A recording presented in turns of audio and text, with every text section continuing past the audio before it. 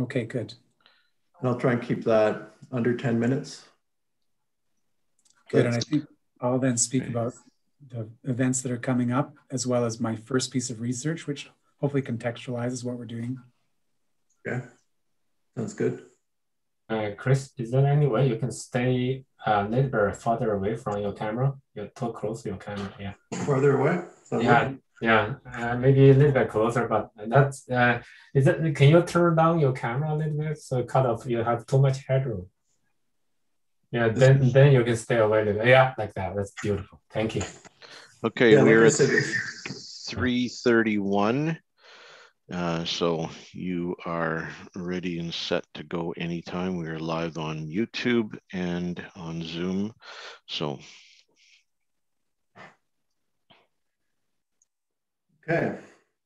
So welcome everyone to the first event in the visit of Dr. John Borrows, the virtual visit to the University of Alberta.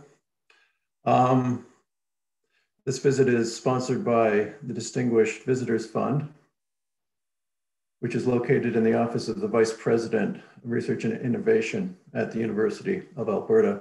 We have technical support today from the Arts Resource Center in the Faculty of Arts in the form of Claire Peters and Grant Wang. And I'd like to thank um, Annette and uh, Diane Johnson in the Department of English for their help in publicizing and doing finances. I'll begin with a territorial acknowledgement. And then I'm actually going to use the territorial acknowledgement to introduce John and his work. Um, the University of Alberta acknowledges that we are located on Treaty 6 territory and respects the histories, languages, and cultures of First Nations, Métis, Inuit, and all First Peoples of Canada, whose presence continues to enrich our vibrant community. Um, that's actually the University of Alberta's mandated statement, which interestingly appears on the university webpage under University Relations, Brand and Communications. So I'm going to start by asking why I read this acknowledgement rather than others, because if you know me, then you know I read everything all the time. I was struck in reviewing this statement because it actually shows the impact of John's work, especially that last clause which I raised and tried to emphasize with my voice. Um, to repeat, the university statement acknowledges First Peoples whose presence continues to enrich our vibrant community. I think in the context of a statement on treaties, territory, and title, the, the affirmation of the living presence of Indigenous people is a response to John's well-known criticism of roughly 20 years ago of the assumption in Canadian law and culture, settler Canadian law and culture, that Indigenous rights are frozen rights. And his satire of the assumptions underlying this prejudice, which, as he argued 20 years ago, relegated Indigenous development to the distant past.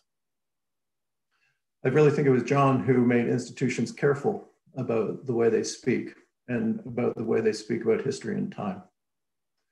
So, in acknowledging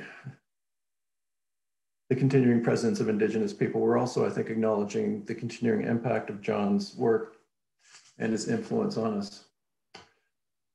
So I'll proceed now to a bio of John. And then I'll say a few words about why this visit, which I've been planning really since last September, I guess. John Borrows is Canada Research Chair in Indigenous Law at the University of Victoria.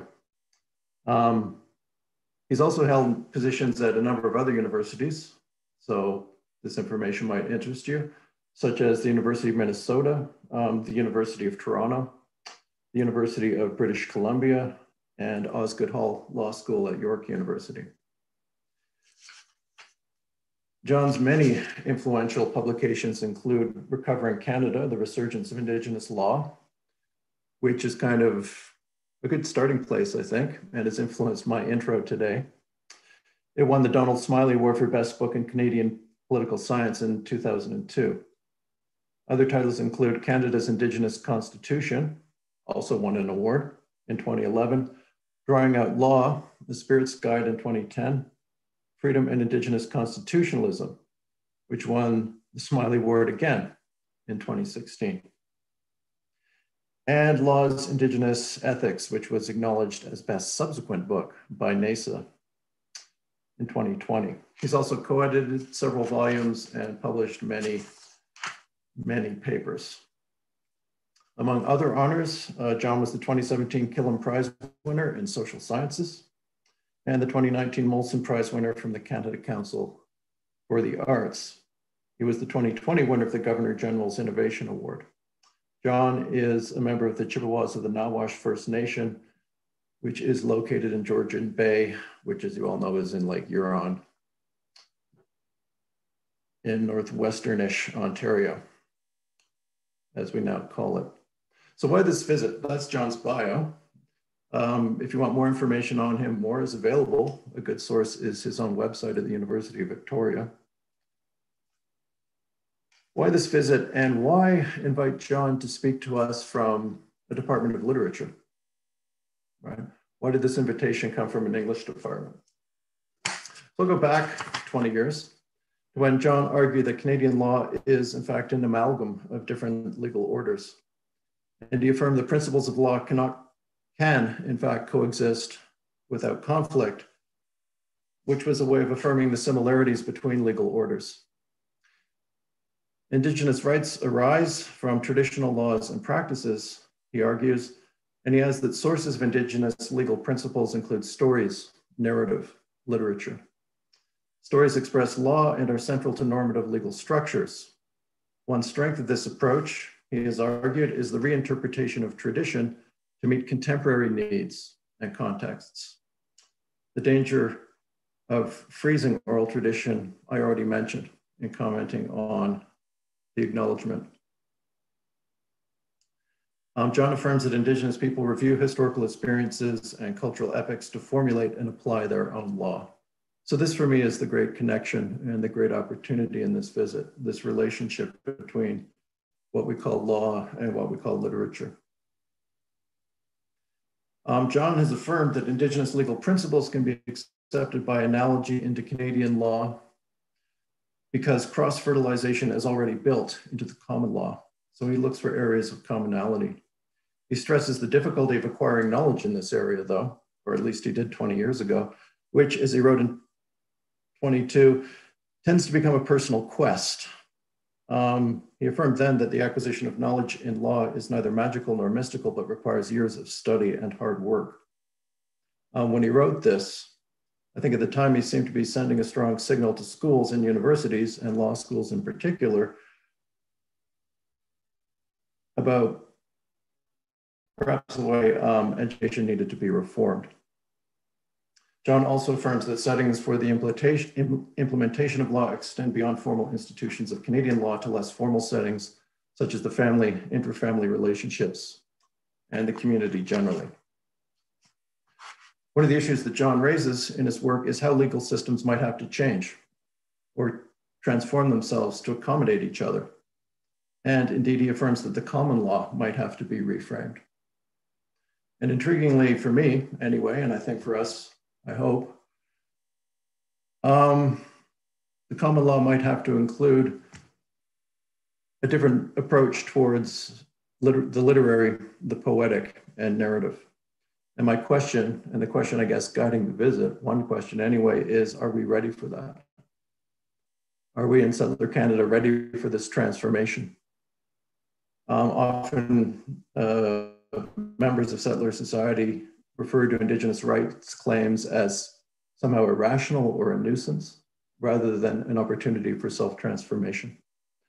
And my other question is, are we ready after so many decades of devaluing literary study, which is really coming to a crescendo right now, are we ready institutionally? And are we ready um, in our educational backgrounds, in our educational disciplinary formations? One thing that will be necessary, John argues, is the overcoming of a non-Aboriginal characterization of Aboriginality, as he put it in Recovering Canada. A non-Aboriginal characterization of Aboriginal, Aboriginality evidence law and literature, one he detected in the Supreme Court of Canada's decisions on rights in the 1990s. Back then, the Supreme Court set out a discourse of conformity to Western standards rather than a project for mutual translation and transformation. This would mean overcoming the topos of frozen development, which I mentioned already, which relegates Indigenous development to the distant past, foreclosing growth and change. Um, reconciliation for John requires concessions and transformation on both sides. A more promising basis, he argued, would be the recognition of ancestral laws and customs and their development and through the interaction um, with the federal crown. Just to wrap up this introduction, I'll briefly outline my interest here so that you know where I'm at. It seems to me one of the standards that will have to come under challenge if we agree that reconciliation requires mutual transformation will be the concept of the literary, or what I prefer to call the poetic. As I've argued for years, the poetic in what we vaguely call the Western European tradition or Western European metaphysics or Platonism is already a racialized concept, and it's already defined within a racialized hierarchy. At the very moment that John is affirming stories as sources of law, we're living within the de devaluation of the poetic and of narrative and reorganizing institutions of learning, such as this one, around classical anti-poetic prejudices, which are simultaneously racial prejudices in disguise. So that is my introduction of John and my own mission statement for this visit. Now I'm going to turn you over to John, and I think he will do everything differently. Uh, Bujun de Dinwe Kanidok, Aniji Bangi Itigo Ninata Nishnabem, and Gagujitu and Jishtamayan, Giganos, Nindijnakas, Neashi, Winigaming and Donjaba, Nigindodem. Uh, introducing myself and my thanks for this invitation, uh, Mikwech Biajayeg uh, Nungum, and uh, look forward to an opportunity to talk with and visit with and interact with you, Christopher, and others as we're here together over this week. This is a series of visits that I'll be engaging with, and this is just introductions today, as you've outlined. Uh, I really like your question about the moment of readiness, and I think that uh, we're going to have some good discussion about that as we're uh, with one another through our time together. And so I hope we keep coming back to that. And you asked me pointedly and tangentially um, uh, whether or not we are ready for Indigenous law and story and uh, standards and, and, ways as a part of our, our, our, relationality that is mutually transformative in a positive way, as opposed to what we've been living through, which is uh, um, marginalizing and, and impoverished uh, in many different registers. But I do want to introduce myself further uh, before uh, we maybe have a little bit more of a conversation here. And I'm going to share some slides here just for that purpose. Um, so uh, let me go back to the beginning here. So this is where I'm from in terms of my family. It's the Cape Croker Indian Reserve. It's in Ontario, as Christopher mentioned, on the shores of Georgian Bay. This is what it looks like this year, and I wish I could be there. Um, this is the first time I've not been home to the reserve in over a year because of the pandemic, and I'm missing uh, home uh, quite strongly. Uh, my sister and mother uh, live there. Uh, my father passed away about a year before the pandemic, and so a longing is in my heart for this beautiful space. but I'm grateful I'm safe, and I'm grateful my sister and mother have received their vaccines. Uh, my mother had a stroke over the past uh, few months, and it's been hard not to be with them because of uh, that as well. Uh, but there's great beauty, and she uh, lost her speech and has recovered her speech. And I look forward to getting together with her. Um, I'm speaking to you from Wasanich territory, which is what's now called Victoria. Um, the Sanchothan speaking people live here, of the Tsartlip and uh, Sekum and Pauquachin and um, um, um uh, reserves. And it's wonderful to be in this area, uh, learning uh, with people, Sayot reserves, I mean. It's wonderful to be in this area. Uh, the Douglas treaties are here. I, I, live and learn and work amongst these uh, people, and I learn a lot about law uh, from them, including stories about their first ancestors, which is rain. And you can imagine uh, being on the West Coast how significant that is in relationship to um, their origins. Um, there's also the um, um, speaking peoples that uh, are here, and the Songhees and Esquimalt nations are uh, also good hosts. And uh, Dr. Skip Dick often uh, takes uh, that role of acknowledgement that Christopher uh, did at the beginning of our time together. And it's so gracious of him to be able to express the need for gratitude and welcome. And so I want to express my appreciation for being here on this territory. Dodem, I'm from the Otter clan. And so here's my family. Here's who I'm related to. Our creation story uh, places us in relationship to the animals. And uh, I don't have time to talk about it right now, but maybe I will somewhere along the way.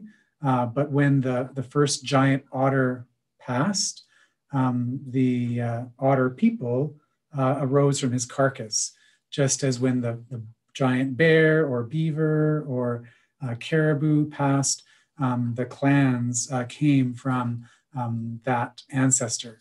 And so this is my relation, Nagig in Dodam. Uh, Ododaman, um, Ode is our word for heart.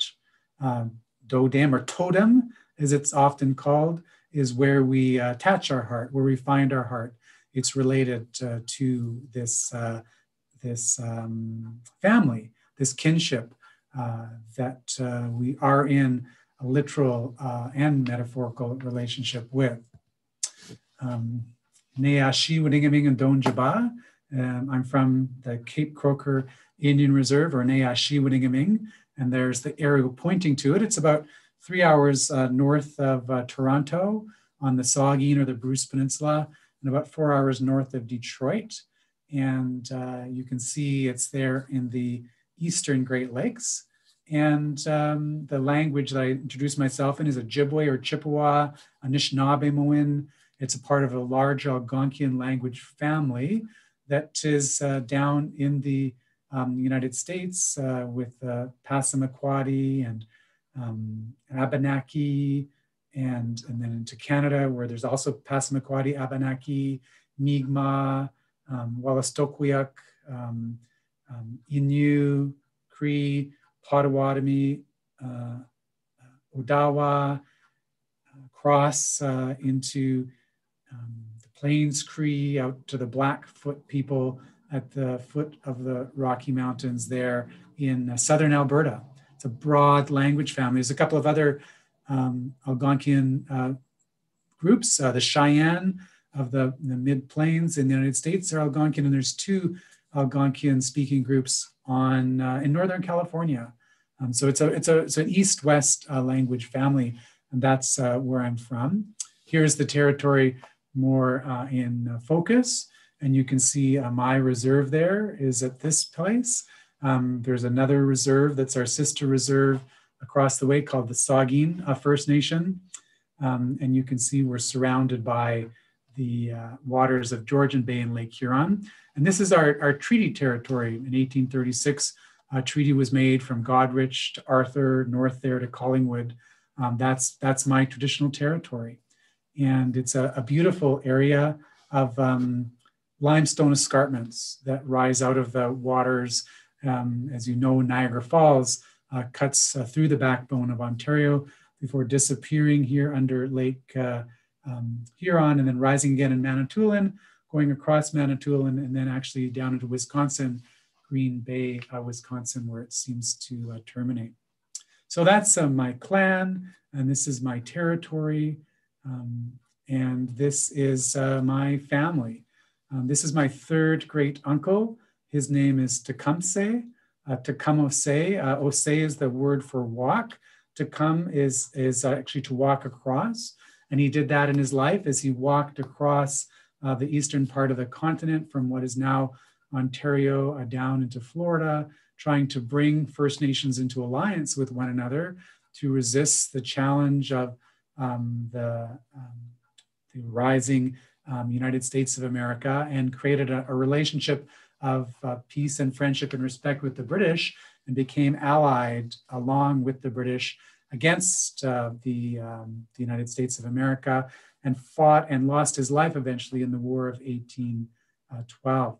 He, um, like I said, is my great great uncle, but it's uh, through marriage. Uh, he married a woman named Wasega Boa, and Wasega Boa is um, my um, third great grandfather's sister, and his name is Giganos. And Giganos is the name that I carry. So when I introduced myself, I said Giganos Nindijnakas, uh, Neashi Wadigaming in Doden Nigigan Dodem. So I let you know my clan, where I'm from, and uh, what my name is. Uh, and his name, Giganos, that third great grandfather, um, Gigado is our word to speak in Anishinaabe And ons is the diminutive of. So he was the little speaker, uh, or in other words, he was a speaker that was charged with remembering what took place in council and then pulling the remembrance of that into other councils. And so that was the role that he had within the community. And that's the role that my mother um, passed along to me as a part of uh, my uh, growing up.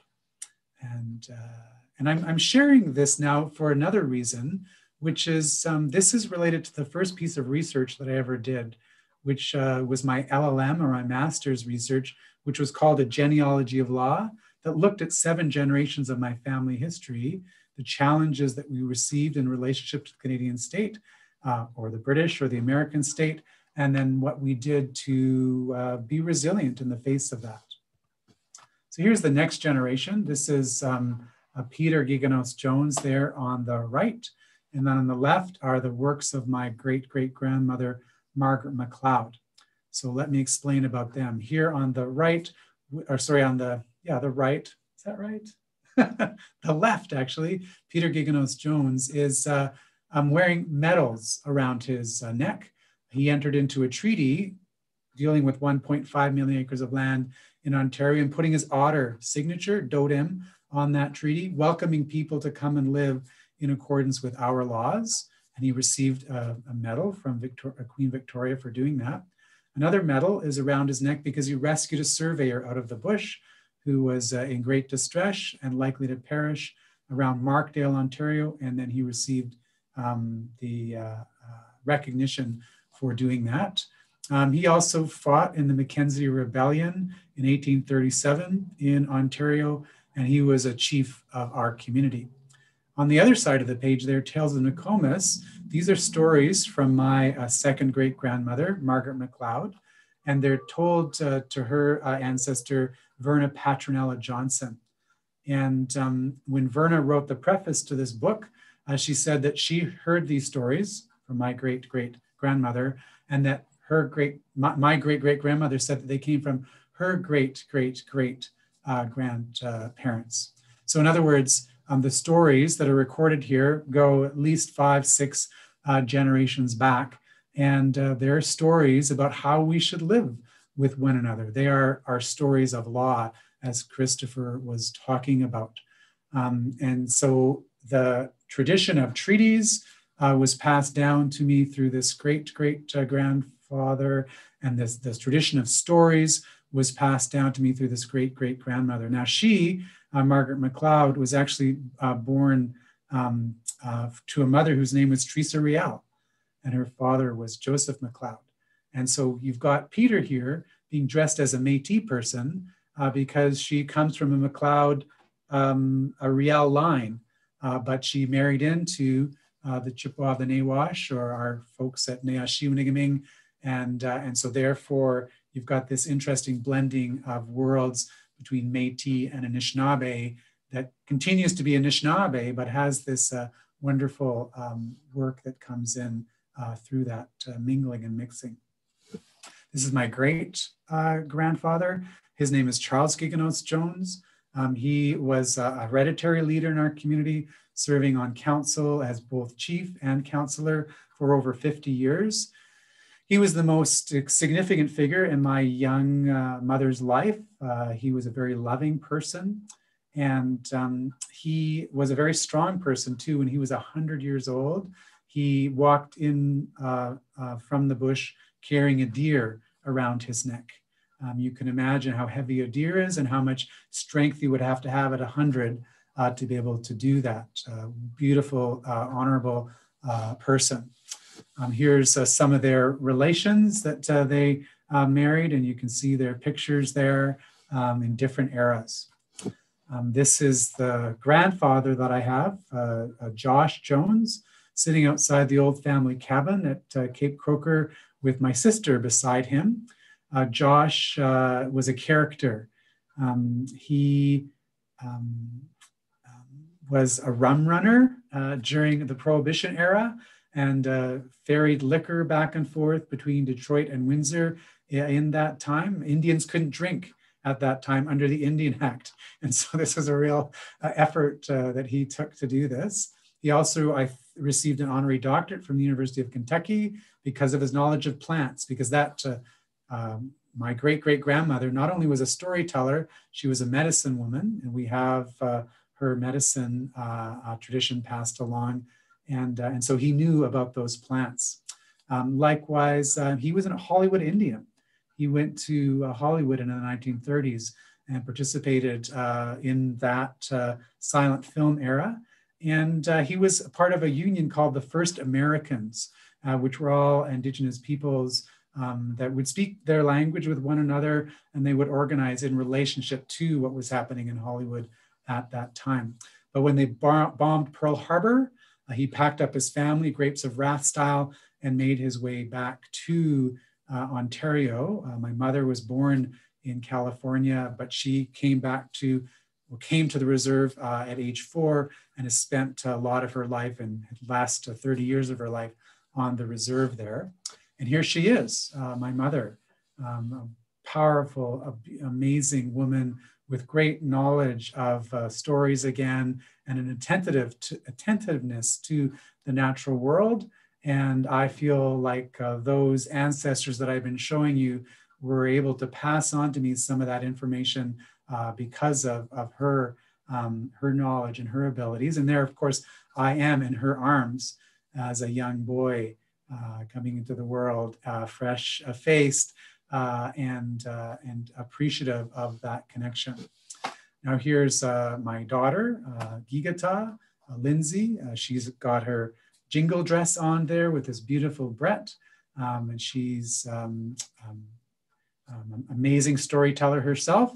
She published a book about Indigenous law and language revitalization called Otter's Journeys. And there's a lot of stories that are found in her book that are connected to the stories that I've been telling you. And I have another daughter here.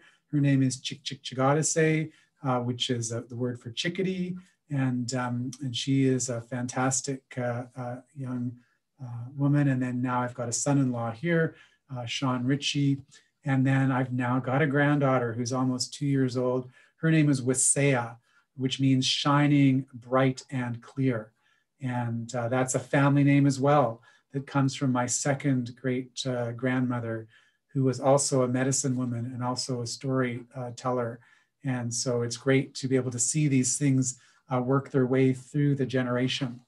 I just want to pause just before I, I finish here and make note that uh, this was my first publication, A Genealogy of Law, Inherent Sovereignty and First Nations Self-Government, again, stemming from my master's uh, thesis and uh, published in the Osgoode Hall Law Journal in 1992.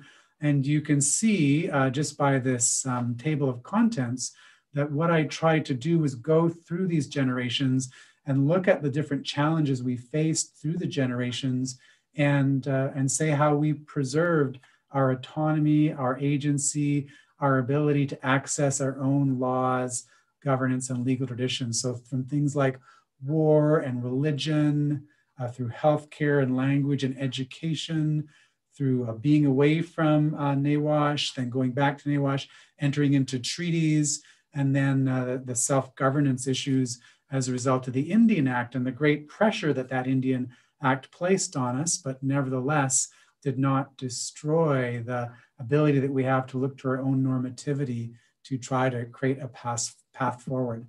And, and I think uh, what I hope to do in this time we have together over this week is develop some of the things that I've learned uh, from those early days that connect back to that beautiful land uh, to my clan, to those stories, to that experience uh, that I have and my ancestors have, to talk about things like uh, freedom and Indigenous constitutionalism, which is the symposium that uh, will be uh, taking place tomorrow at the same time.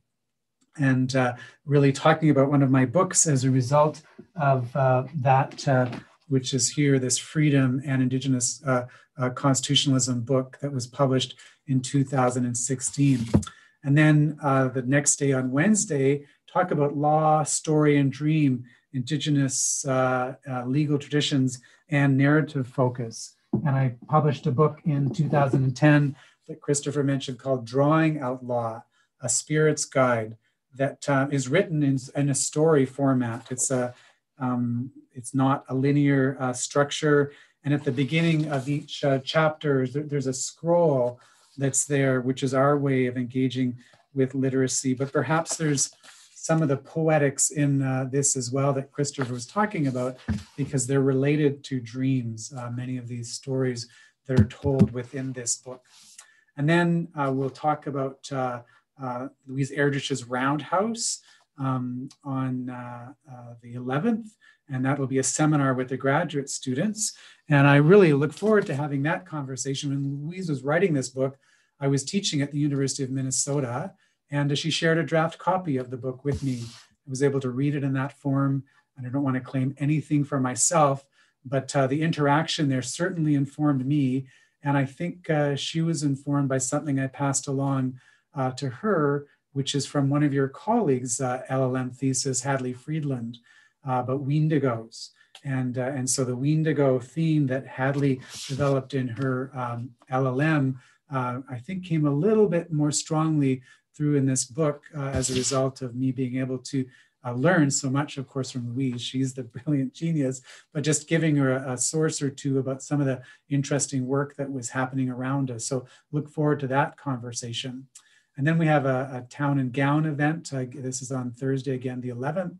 We'll be talking about laws, Indigenous ethics, and uh, that uh, is that recent book that um, um, Christopher was talking about and I look forward to having a conversation uh, around that. And then finally, on the Friday, uh, talking about writing from an Indigenous, uh, right, so writing as an Indigenous practice. And you can see behind me uh, some of this as I've worked with uh, artists in relationship to some of the books that uh, I've, I've, published. And you can see other forms of expression that are, are, poetics, are writing that might not necessarily always find their way uh, to this kind of a, um, a, register, but nevertheless are about people reflecting and and passing along um, their their dreams, their hopes, their aspirations, their research, their observations. And so that's a bit of an introduction to myself in about 20 minutes or so, maybe uh, just to set the stage uh, for what we're doing. And uh, I'm grateful for this invitation. I'm grateful to be able to speak at um, the University of Alberta. My daughter is currently doing her LLM at the University of Alberta in the law school. And so I felt extra um, appreciation uh, that I would receive uh, this invitation and um, look forward to uh, the time that we'll have together.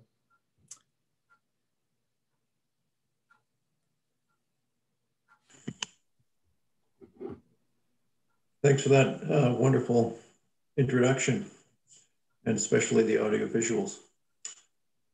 Um, I suppose I would open uh, open discussion to the floor. There is no floor to the virtual floor. I would invite people to pose any questions they might have at this point. Part of the uh, purpose of this meeting is um, simply when we were discussing this meeting back in the fall, uh, this visit really, um, I kind of thought I had no idea what was going to happen or how a virtual visit would work, so that we needed some kind of brief introductory session to get people oriented and to explain um, how the events would work. I do have to announce that my original idea was that there would be a pre-recorded element to all of this. There would be pre-recorded lectures well, to quote Eden Robinson, ha bloody ha. Um, it didn't work out. We weren't very happy with the results. And in retrospect, I don't know what I was thinking. I thought somehow it would increase participation because I have the ever present Zoom fatigue on my mind when I'm planning. So, no, contrary to all previous advertising, there will be no um, there will be no pre-recordings. All of these will be live events, which I now think will be much better. Uh, finally, there will be online office hours. These will be from 1 to 1.50 on Wednesday and Friday, the 10th and the 12th. Um, if you want to join, then I would suggest emailing me, and I'm about to post my email address. Email me, and I'll send you a link if you want to join John during office hours at these times. That's 1 to 150 on Wednesday and Friday afternoons. Now, if anyone has uh, questions or comments.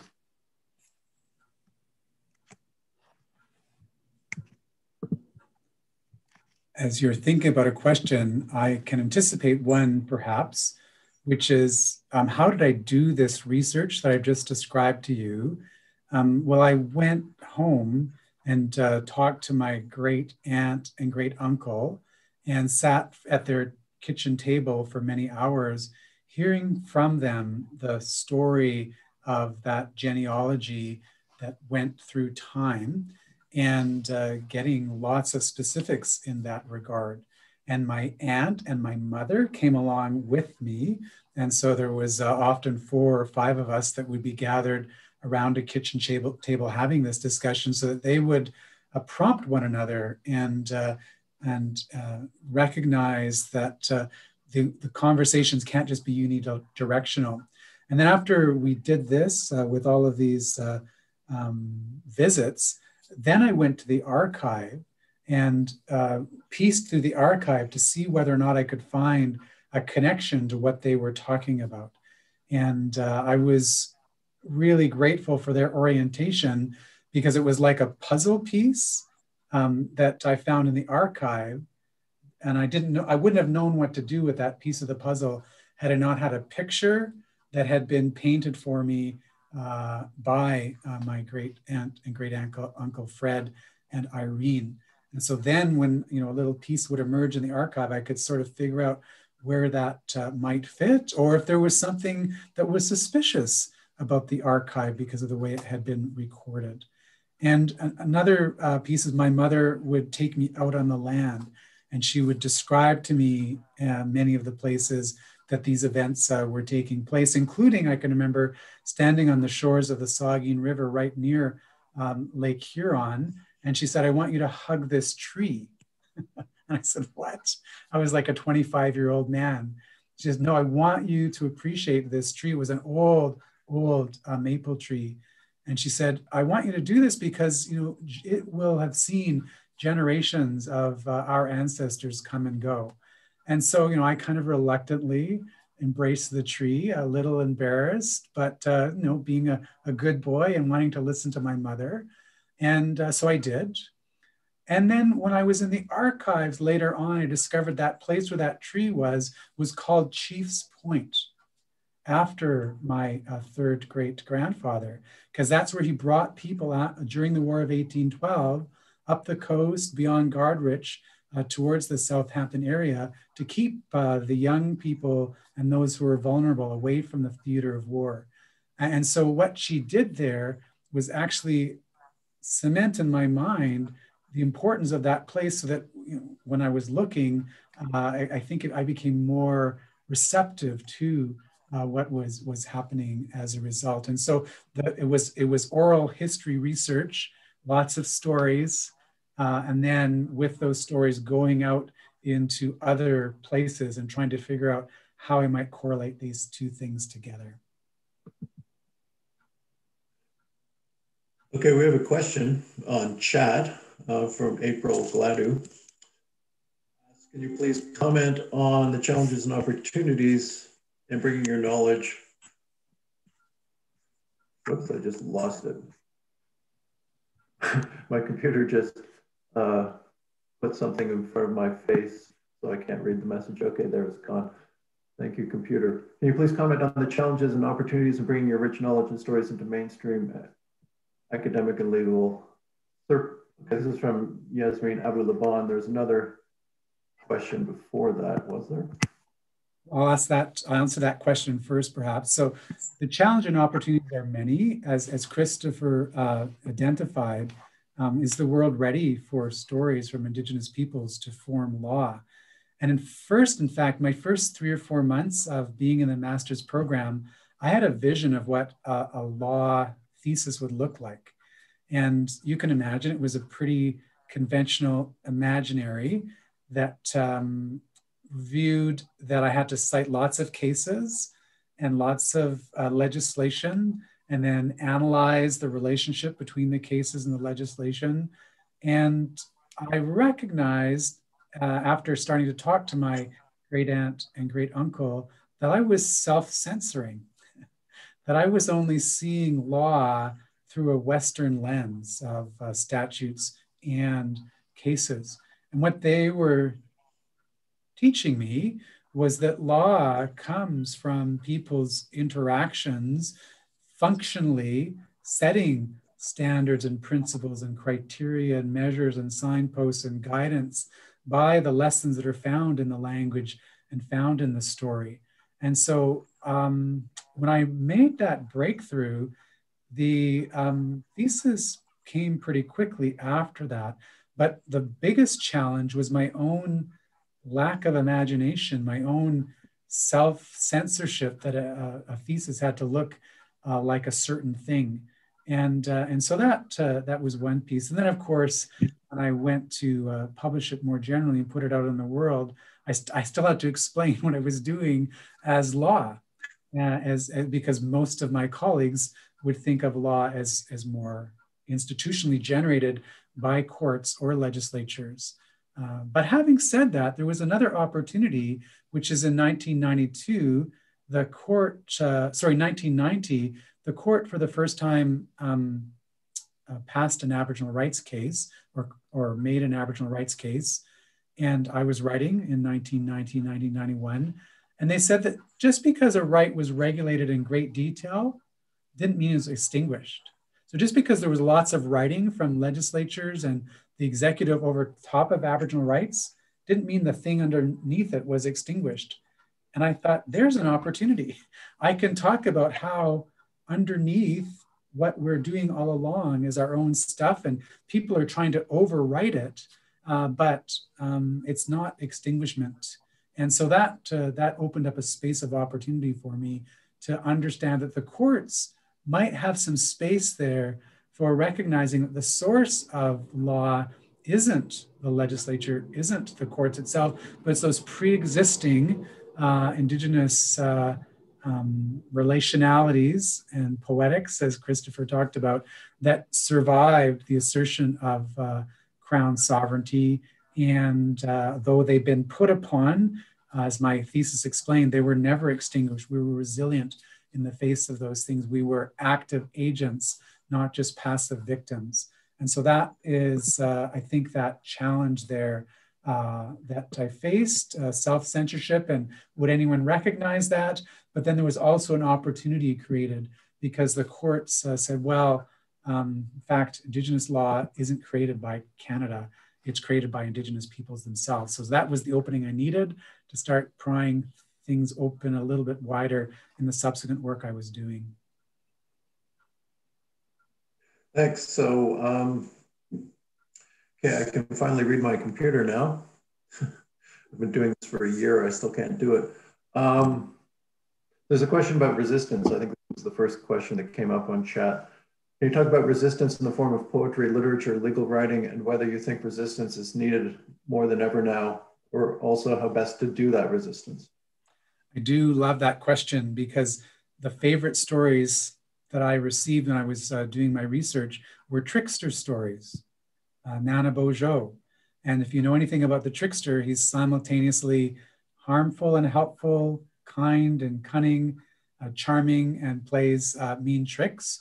And, and so within that tradition, is uh, understanding of uh, resistance and, and contrast and complexity and the danger of a single story and the need for nuance as uh, you try to put uh, various things together. And they're not always possible to be reconciled, that you have to just be prepared to hold things in two hands and say, well, why did he do this?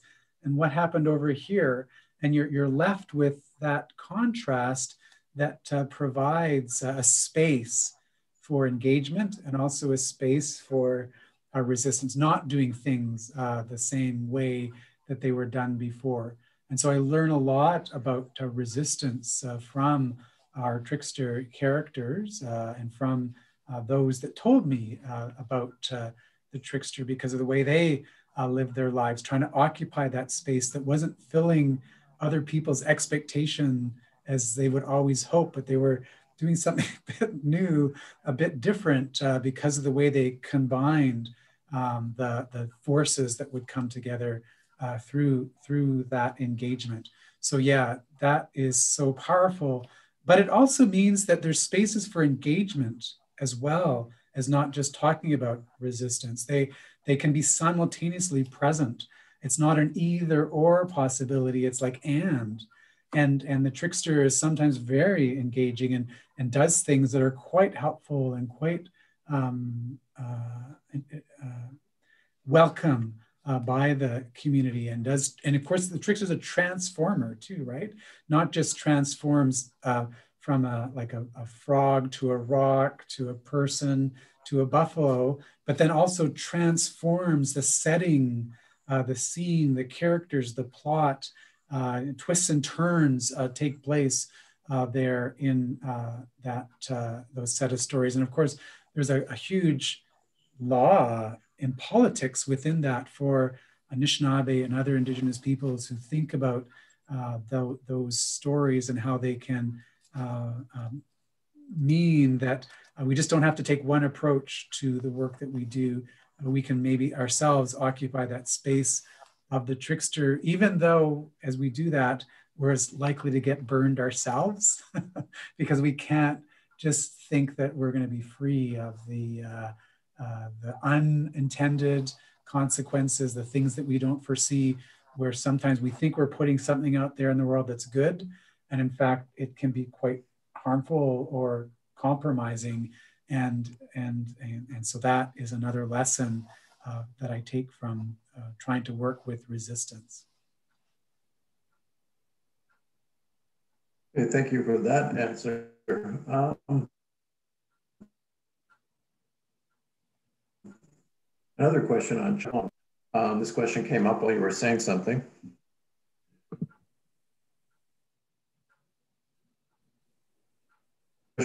With mother who shows plants and shares stories um, in the process.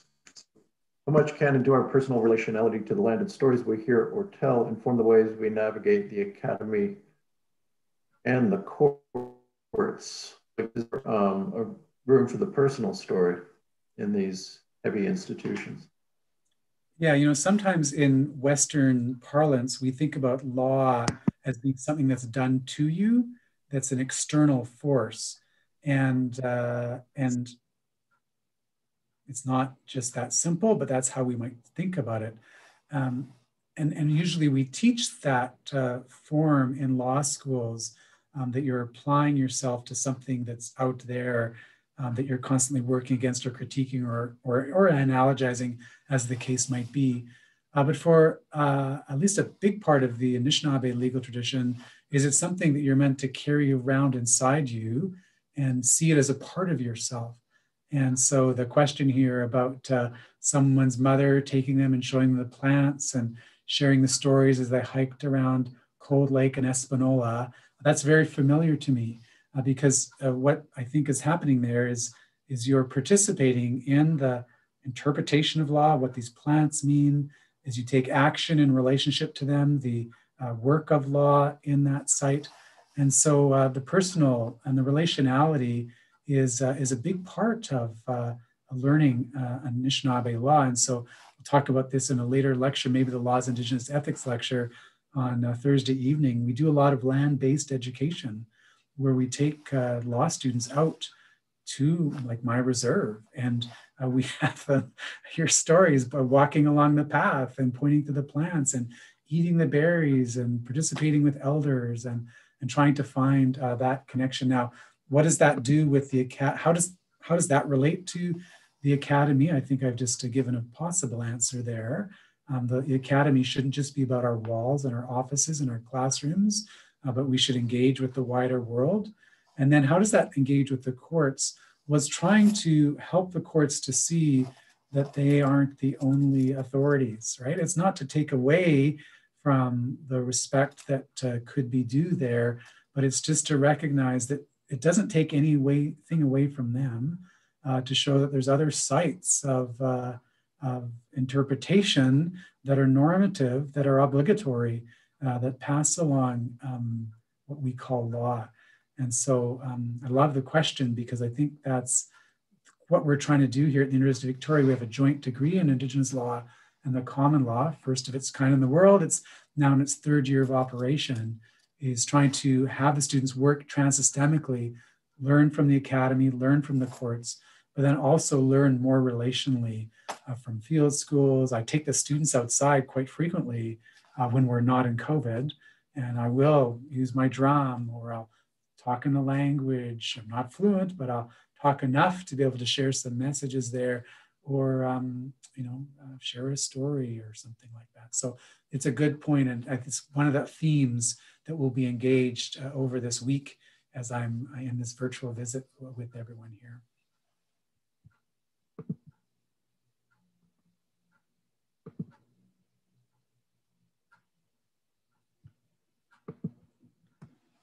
Did I see that Rob had raised his hand?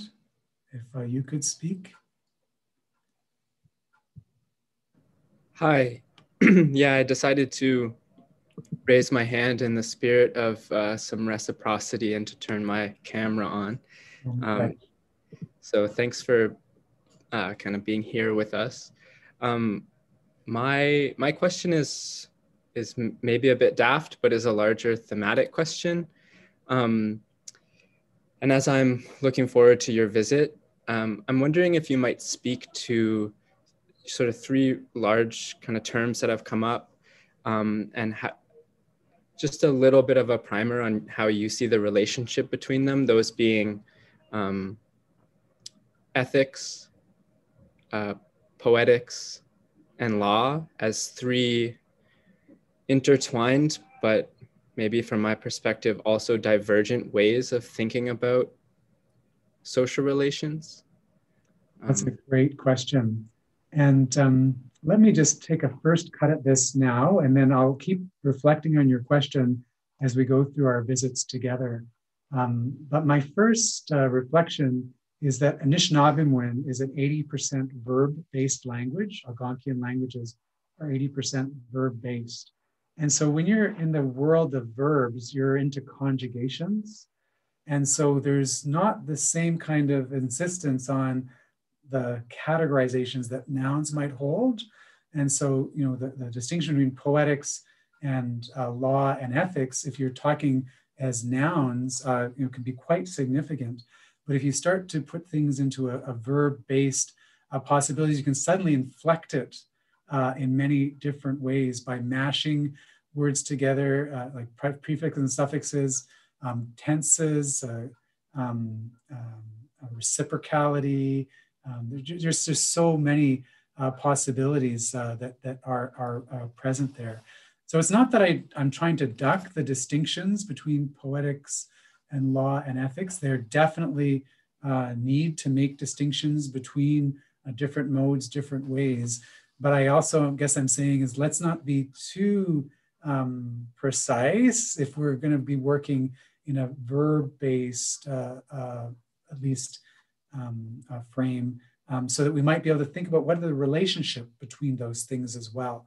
And so maybe that's just my initial answer. I want to be uh, able to think about their distinctions, and I'll, I'll work with that with you but I also want to be able to think about their relationships. And uh, maybe we'll go back and forth between nouns and verbs here along the way. Uh, that's a that's an amazing question, and it's actually, it's, I, I just feel goosebumps around it because I, I can think about what we might do uh, over this week together to further get to that point. Thank you. And the, the introduction to, to conjugation as a way of thinking through different grammars of relation is right off the bat very exciting to me too. So thanks. Mm, wonderful. Thanks. Thanks, Rob. Uh, jo jo Johanna Bird. Hi, uh, sorry, I just had to switch my camera. Um, Chi-miigwech for um, your introduction. It was so uh, lovely. And um, yeah, so many things about it that I find so compelling the, the relationship between law and land and story. Um, my question just has to do with um, so, in the history of, um, I guess we could talk about like attempts to include Indigenous um, peoples in Canadian Canadian law. Um, you know, uh, in your efforts to um, think with your Anishinaabe legal traditions, um, how did you deal with, um, you know, just I'm, I'm thinking stereotypes or um, kind of racist ideas that you must have come up against in trying to um, make your own case for um, why the work that you were doing was important. I'm just I'd just be interested to hear about what your journey was like in that regard. Yeah, that's a great question. And it's probably a lot of different uh, um, dimensions to that. But one comes to mind is, it's, it's, I try to put the shoe on the other foot sometimes. And as, as Christopher talked about, irony and sarcasm might be a possibility just to get people to suddenly inhabit that space uh, where they are stereotyped or they do find themselves a bit adrift because it's not their uh, way of uh, maybe naturally proceeding. And so I, am just thinking of an, an, instance when I was doing some work with the Canadian, uh, uh, the Institute for the Administration of Canadian Justice or something like that. There was like 500 judges.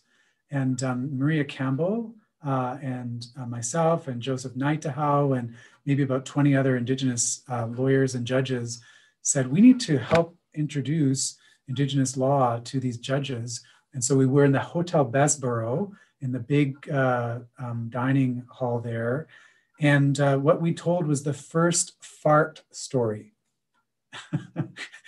and these judges were like, what is going on here? You could tell that they had no idea what was being presented as Joseph was playing his flute and acting like Nana Bojo, and Maria Campbell was narrating this incredible story. They're, they're thinking, how, what are we just being made fun of here as judges? Uh, of course, there was a bit of fun that was being made there, um, but we had a discussion afterwards. And it was interesting. All the, the indigenous peoples, not all, but many indigenous peoples that had been invited that weren't part of the planning group, they totally got where law was. And they were all just like, oh, oh, oh, oh. And the judges just didn't have a thing to say about that. And they were, they could snout, they could start to see as indigenous peoples interpreted for them where the law was in that first fart story. Um, but it would it put the shoe on the other foot.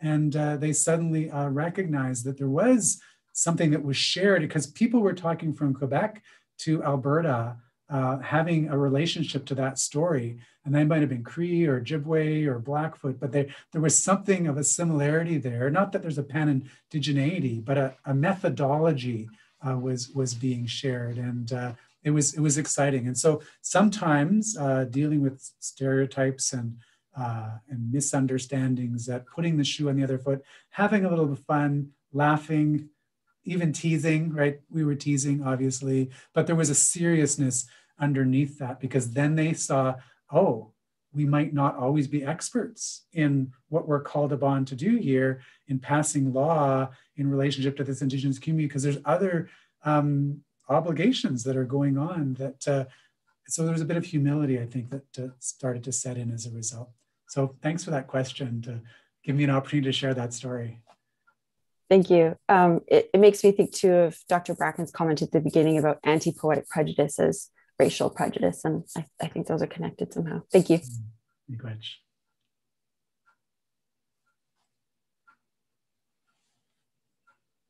I think you're muted there, Chris.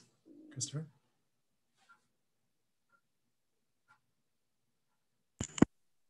Pardon me. Oh yeah, that's the first time I've done that. Um, no, thanks for these great questions and the discussion is already fascinating. We originally planned this first meeting as one hour. I think as an introductory meeting, we don't want to wear out our visitor on the first day. Um, and there's lots to come. Um, does anyone else have a question or comment? I think one last question or comment. Otherwise, um, I think we'll wrap for the day and look forward to tomorrow's symposium. So um, tomorrow's symposium will feature uh, Joshua Nichols and Darcy Lindberg from the Faculty of Law, who are also, I believe, along with Hadley Friedland, your students formerly, John. That's right. That's correct. And uh, I think we've agreed on a kind of conversational, informal format for that event, which I'm looking forward to very much. So I think um, People are signing off and giving their thanks, a lot of thanks. So I think we'll wrap this event for today and thank John. You can applaud virtually if you want. If you like emojis, um, there's a few available on Zoom. Yeah, there we go. Thank you, everyone. It's so good to be with you. I'm looking forward to our time together and hope you have a great evening. Yeah, thanks again. Take we'll care. Giga-waabamin. Thanks. Bye.